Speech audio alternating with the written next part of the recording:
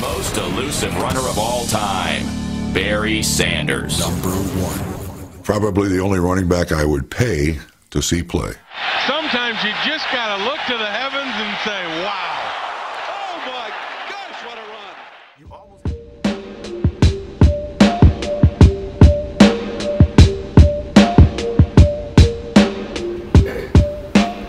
I remember in the previous mixtape, city the same year Barry Sanders came to the city. Growing up in Detroit, what type of impact did Barry Sanders have in your city? Um, yeah, I was born in '89, by the way, but um, the impact it was crazy. I I really can't remember much. You know what I mean? I didn't start watching football until like probably '97 or something, but I just remember the impact being crazy because you know everybody had to have on a Barry Sanders jersey. Everybody wanted to be in Pontiac. You know what I mean? Because the Lions played in Pontiac then, but. It was big for Detroit. It was crazy. You know what I mean? I just admired it. I just admired seeing it every Sunday. You know what I mean? I just appreciating it. The impact was crazy though.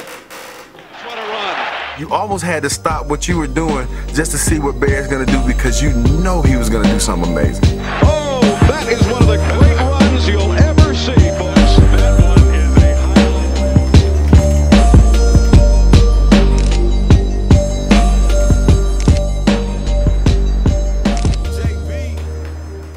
play any sports growing up?